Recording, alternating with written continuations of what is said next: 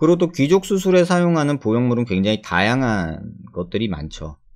이제 이 경우는 실리콘이 기성으로 나오는 귀족 보형물이 가장 두꺼운 게 대략 한 6mm 정도 되거든요. 근데 꺼진 양이 너무 많은 거죠, 환자가. 그래서 이렇게 기성에 나오던 거랑 그 위에 하나 더 덧대가지고 두 겹으로 넣은 귀족 보형물이었고 이거는 사실은 코 수술할 때 쓰는 L자 실리콘인데 거기서 약간 위아래를 끊어가지고 여기 고양이 수술이라고 해서 이 부분에 넣어주는 이런 수술을 했던 거죠. 물론 뭐 위치도 삐뚤어지고 양쪽 다르고 해서 제거한 경우고요.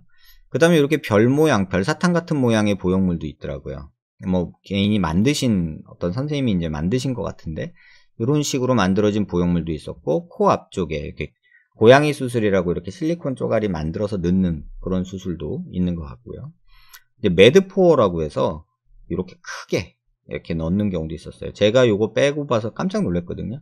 사실 팔자주름에 귀족 보형물로 들어간 것 중에 제가 8mm까지 본 거는 거의 없어요. 6mm, 한 7mm 요 정도는 봤는데 이렇게 두 개 들어가거나 얘는 무려 근 한 1cm 되는 거였어요. 그래서 환자가 이걸 들, 어, 몸에 넣고 있는 상태로 봐서도 많이 꺼져 있어서 뭐 좀 부족해서 한 10mm 넘으면 될려나 이제 이러고 들어갔는데 들어가 있는 게 10mm였던 거예요. 그래서 제가 넣어본 여기 보형물 중에 가장 큰 양이 이제 이 환자인데 16mm를 넣었어요. 그래서 와 이렇게 꺼진 분도 있구나 라는 걸 알았던 경우고요. 이 환자는 입안에 실리콘 보형물이 이렇게 잇몸을 뚫고 나오려고 하는 모습이에요. 그래서 이렇게 잇몸을 뚫고 나오려고 위치가 이제 옆으로 미끄러지면서 빠진 거죠. 그 다음에 요거는 뭐냐면요.